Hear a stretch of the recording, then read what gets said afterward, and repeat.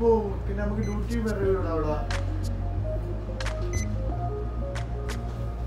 ഇത് എവിടെയാ സ്ഥലം? ആദ്യം ചോദിച്ചിട്ടില്ലേ എന്താ സാധനം ഉള്ളതെന്ന്?